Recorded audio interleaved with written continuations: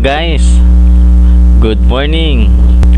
Ngayon ay tutunghayan natin ang laban ng dalawang magkaibigang chess players ng P-Cup A battle between Israel Lendicho ang white versus Caliber Master Genghis Imperial ng black. Umpisahan na natin. Israel tumira ng D4 Genghis tumira ng C6 Knight F3 D5 ito yung tinatawag natin na Caro-Kann defense. Tumira ng F4 si Israel tumira ng F5 si Genghis C3 Knight D7 E3 napakaganda laban ito mga kaibigan. Knight F6 so anong anong idea? Tinatarget niya na yung E4 square. Gusto niyang pasukin Okay? So is Israel D3 hinamon ang bishop. Gusto ng exchange. Ano kaya maging reply? Oops! Ayun ipinwesto na mga kaibigan. Yung bishop ng black doon sa e4 ayaw niya makapag-exchange. Gusto niya white yung kumapture. Para yung knight ito ka-capture makakapwesto yung kabayo okay? Israel Queen E2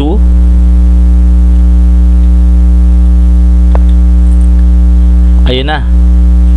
Caliber Master Genghis tumira po ng Queen B6 Hindi na po nakatiis si Israel. Kinapture na po yung bishop. Ayan na po yung plano Nakapasok na po yung knight ni Caliber Master Genghis Imperial. Oops. Pumesto na po yung queen. And then tumira po ng h6 ayaw niyang papuntahin dito yung knight or yung bishop no? Para nakaabang lang. Okay Israel tumira po ng E3 so abang-abang lang din siya. Ayun. Tumira po ng G5 okay? So threat sa bishop pinaalis. Okay tago muna. And then ayan na po nilabas na po yung kabayo. Okay ano kayong gagawin? Kinain na po ni CM Genghis yung kabayo. Kinain na rin ng kabayo. Nagkainan po sila. Ayun na po. Bumasag na po si CM Genghis bumasag na po siya no?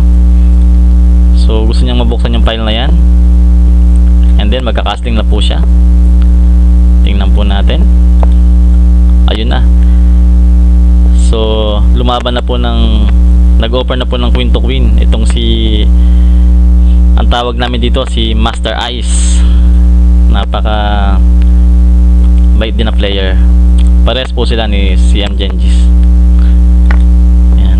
So, kinapture na po. Kumain din. Nagcasting na po si si F. Genghis, nagkasing na rin si Master Ice. So dito po, kung dito na nyo yung posisyon, uh, equal lang po ito. No? Equal lang po ito. Tingnan natin kung anong mangyayari. Oops. So tumira na po ng Rook E8 si, si M. Para makuha niya yung file na to. And then, syempre, hindi po ialaw ni Master Ice yan. So, yan po tawag namin sa kanya si Master Ice hinamon po yung rook kinain na yung queen. So kinain din po ni Ice, no? So dalawang option niya, pwede niyang kainin ng pawn, pwede rin ng knight. Pero mas pinili niya po yung pawn. So anong idea? Para na-open din po itong file na to. So tingnan po natin kung anong mangyayari dyan. Okay. Ayun. So tinira po ito ni CM Genghis para if ever po na na mawala yung rook dito sa po lumipat yan anywhere eh hindi na po makakain tong pawn na to. So safe no? And then pinush po yung uh, kanyang b pawn so double pawn po yan no? Double pawn so pinush po para makatulong na hindi makaabante ito okay? Ayun. Talagang medyo atakador po itong si ano si CM Genghis. Tumira po siya ng F5 so plano po niyang saraduhan to. Para itong bishop po hindi, hindi, hindi makalabas. Kasi malakas po ito sa diagonal na to no? ayun. Inilabas na po ni Ice yung kanyang bishop. Kasi po pag na push yung pawn eh naku matagal-tagal po yung makakalabas no? So napakalakas po ng bishop sa center na yan. Centralize yung bishop no? ano kaya ang gagawin ni CM Genghis Master Genghis ayun na. Nilabas po yung king para makatulong sa laban. And then king din ang minob. Ayun talagang atakador si Master Genghis no? Tinira niya na yung B4 so talagang unahan po ito labanan unahan. Oops bumalik yung bishop. So ano pong idea? Ba't bumalik? Dahil po wala nang makakapagpaalis sa bishop na ito. Kasi napush na po yung pawn no? nagkaroon po ng uh, weakness. Kumbaga makakapeso na yung bishop dyan. Tingnan po natin so kinapture na po syempre capture capture kinapture na rin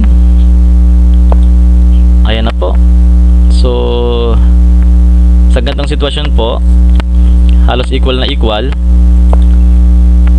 So, tumiran po ng kabayo, hindi po kinain yung rook. Siya na po ang kumain. And then, ayan. So, abang-abang lang po sila. King move. King must be active in the end game. Ayan po.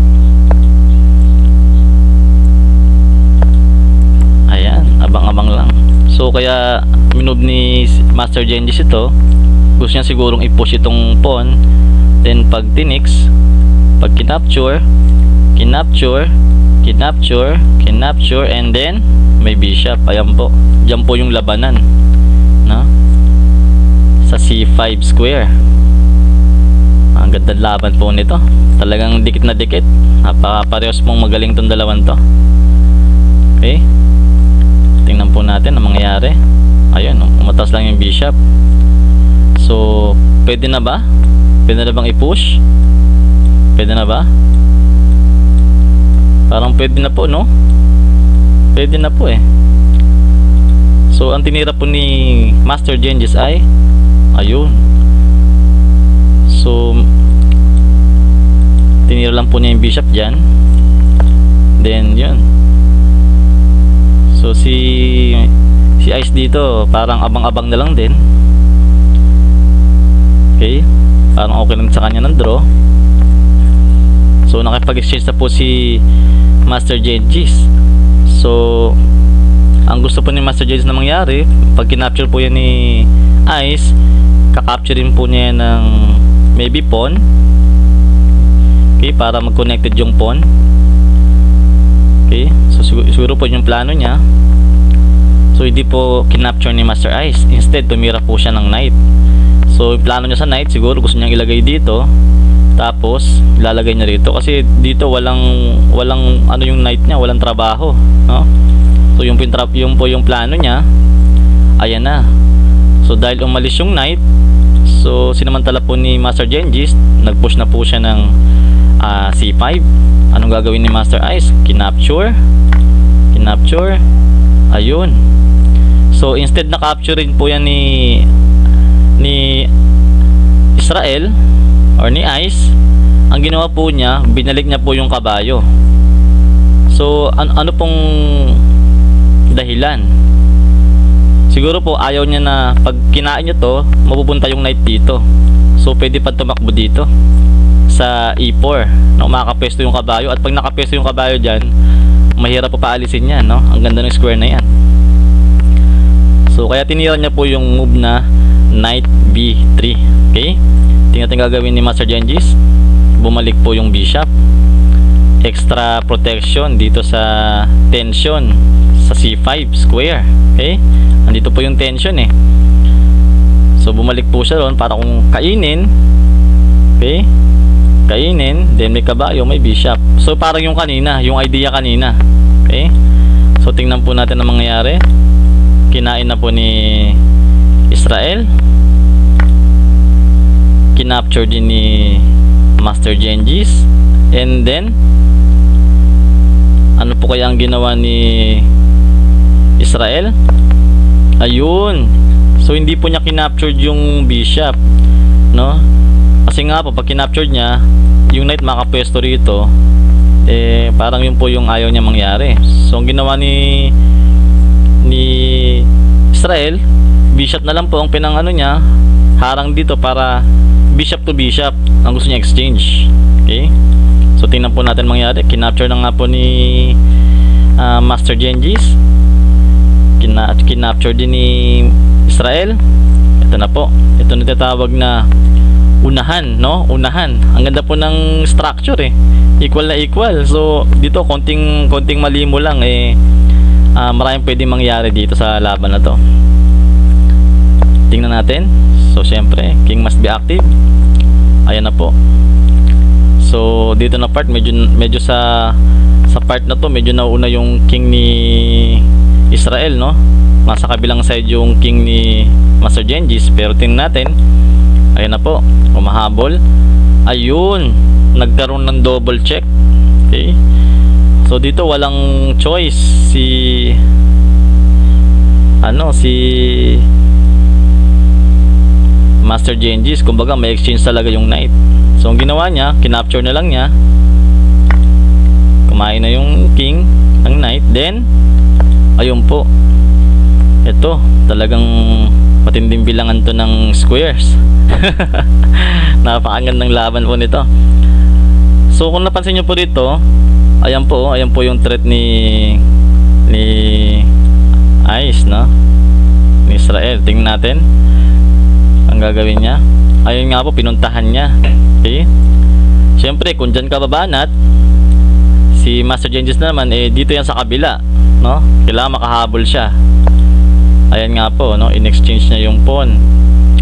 So dito hindi pwedeng i-push ni coach Ice yung ano yung yung pawn. Kasi posibleng mauna pa tong black pag pinush niya so wala pong choice kundi kinapture na. Yan kinapture ng king. And then syempre libre. Okay? So ano kaya mangyayari? Merong isang pass pawn si ah, Israel. Okay? So syempre ang gagawin dyan ayan po inahabol. Okay? Unahan po sila.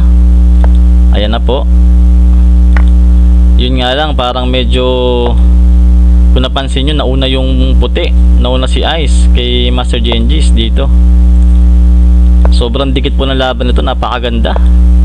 Parehong napaka lakas na player po nito no? ayan po. So dito po nagkaroon na ng ah, decisive advantage na po ito para kay Israel Andicho dahil po nagkaroon siya ng pass pawn ayan po kita po natin. So hindi na po maaawat. Ayan na po. So check. And then dito po medyo ano mahirap na po ito. So dito po nag-resign na po si Master Genjis. So very close game po, napakaganda po ng laban, no? So sana po magustuhan niyo po yung ano, yung analysis natin and then suportahan po natin yung pickup. Okay? So suportahan po natin 'yan sa mga chess players po na ah, aspiring chess players. Tuloy-tuloy lang po sa paglalaro ng chess. So maraming salamat po. This is Coach J ah, Bolado and then sa ulitin po maraming salamat. God bless po sa inyo lahat.